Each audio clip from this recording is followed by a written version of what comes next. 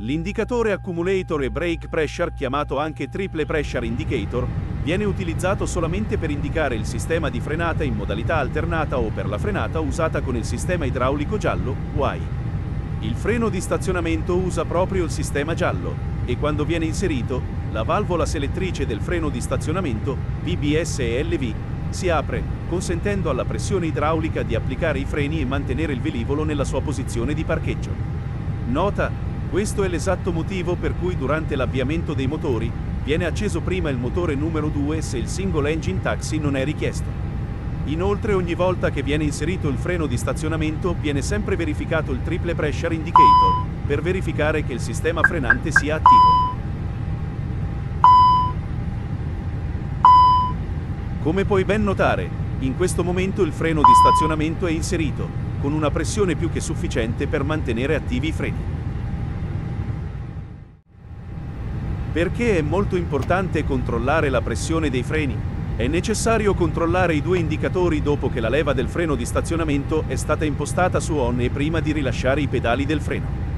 Questo perché evita un movimento imprevisto dell'aeromobile con conseguenti potenziali lesioni o danni significativi in caso di collisione con ostacoli a terra. La lancetta più in alto indica la pressione disponibile nell'accumulatore del sistema giallo dedicato ai freni. L'accumulatore è un'unità che viene pressurizzata automaticamente dal sistema idraulico associato quando i motori dell'aereo sono in funzione. Può anche essere pressurizzato o ricaricato manualmente attraverso la pompa elettrica gialla.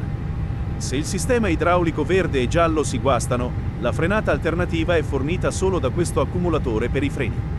Esso è progettato per fornire pressione sufficiente per almeno 7 applicazioni complete.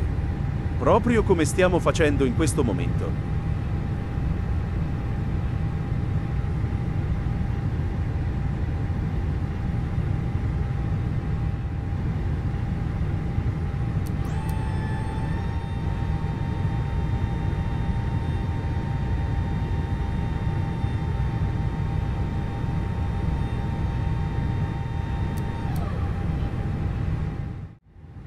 Le ultime due lancette, invece, misurano la pressione del sistema giallo erogata ai freni del carrello principale di destra e di sinistra, misurata a monte delle servovalvole.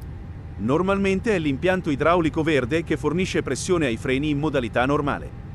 Detto ciò, la pressione dei freni è indicata solo quando il sistema idraulico giallo controlla la pressione dei freni, cioè quando si attiva il sistema di frenata in modalità alternata, oppure se il freno di stazionamento viene inserito.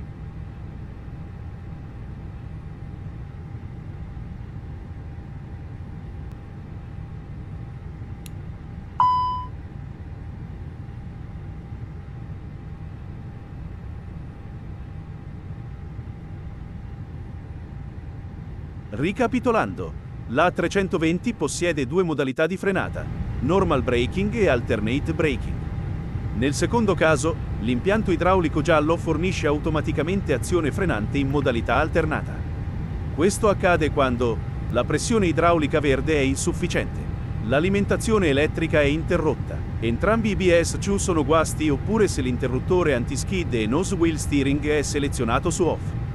Nota, negli ultimi tre casi, la frenata alternativa è disponibile ma senza l'antislittamento. In base alla richiesta dai pedali dei freni, la BCU controlla la pressione che passa attraverso la servovalvola DDV o Direct Drive Valve.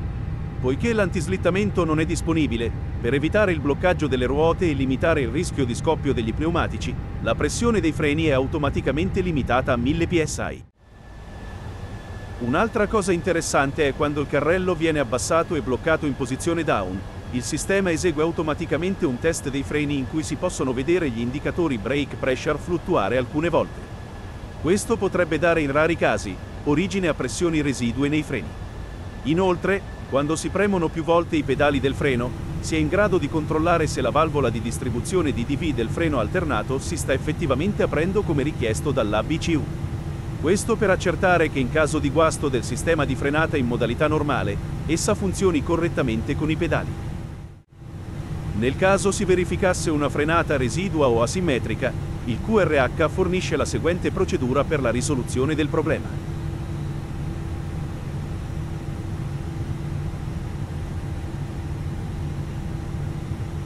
Di seguito puoi notare la lista delle attrezzature alimentate elettricamente dagli specifici bus dell'aereo.